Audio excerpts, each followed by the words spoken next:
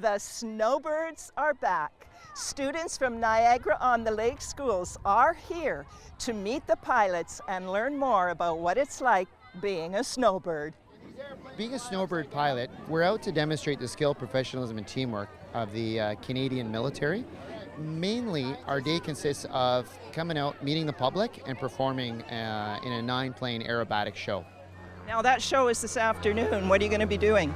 Uh, the show will consist of nine airplanes taking off and joining up together and doing what's called an opener, where we'll do a series of aerobatics in a nine plane formation. And then you will see a split, and then it divides the show into what's called an integrated. So you'll see the solos do their crosses, you'll see uh, airplanes tumble around each other, and eventually we'll come back together to do the closer, which is very similar to the opener, but it's our way of saying thank you and goodbye to everybody.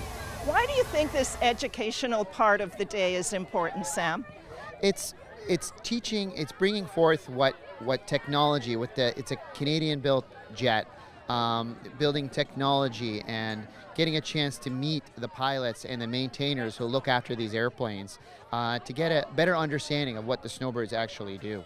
Now, Sarah, what is involved in getting this event uh, going today?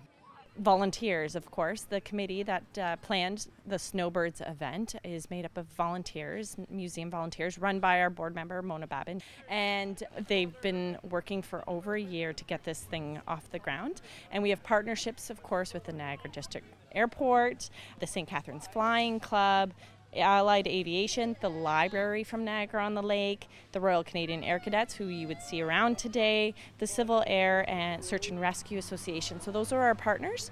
And this group has been planning, getting the snowbirds down here, getting them taken care of, having the schools come in and get to talk to the snowbirds, which is very exciting, of course, because the snowbirds are you know, a national icon. They're amazing to see up in the sky with the skills that they have. We're so excited to have them here. And of course, this event is a fundraiser for the Niagara Lake Museum. So they're showing their support for the community and for heritage. I'm in the uh, Air Cadets program. I'm in 337 Squadron down in Fort Erie. We are helping the Snowbirds actually with their whole running the uh, event today.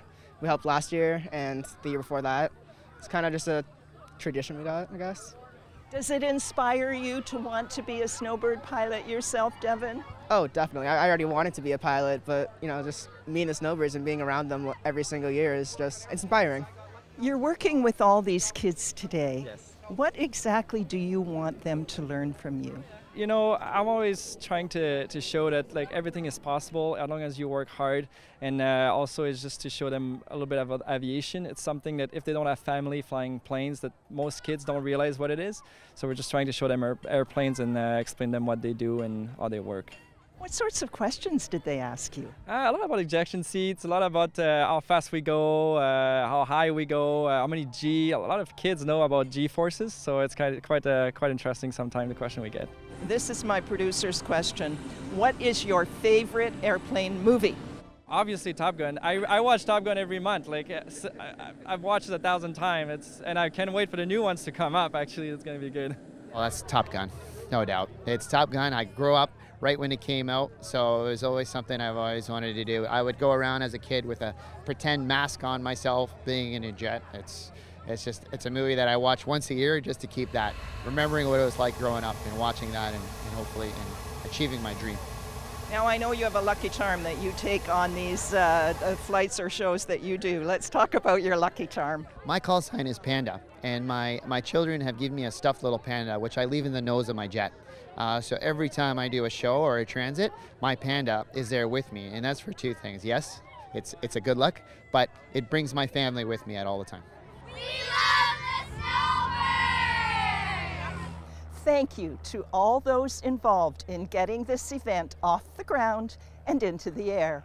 A special thank you to the students who participated and the Snowbird pilots who made the educational part of the day possible. At the Niagara District Airport, I'm Brenda Schultz, reporting for The Source.